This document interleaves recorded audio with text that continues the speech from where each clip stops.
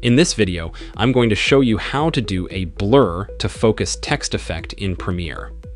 To begin, I just added a video with some text to my timeline.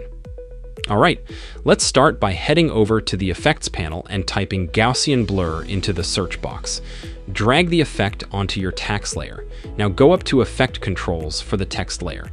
In here, we're going to start by adjusting the text opacity so that our text fades in, move the time, head to the start of the clip. Make sure the opacity stopwatch button is turned on and then change the opacity value to zero and to create a certain keyframe drag the time head a little past its current position and change the opacity to 100 to create the ending keyframe.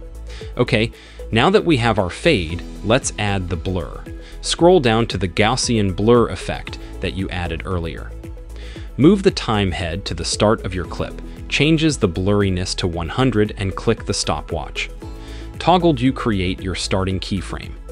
Since we want our text to come out of the blur and into focus right when it's finished, fading in, we're going to want the time head or the location of our opacity's ending keyframe. Go up to the opacity property and click the right arrow next to the blue keyframe button to move the time add to the opacity second keyframe. Now when we scroll back down to the blurriness property, the time head is positioned in the right place.